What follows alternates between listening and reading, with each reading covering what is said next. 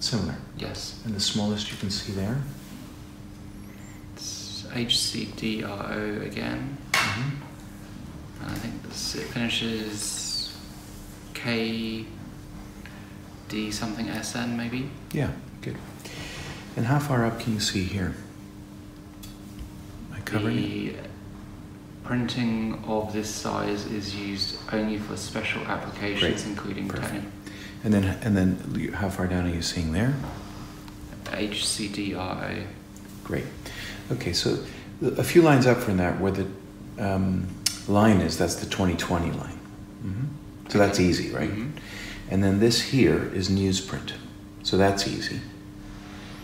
Yes. hmm You're looking at the 2020, hmm you look at the newsprint, Yes. back to the 2020, Yes. back to the newsprint. Nice and easy, switching very, very easily back and forth like that.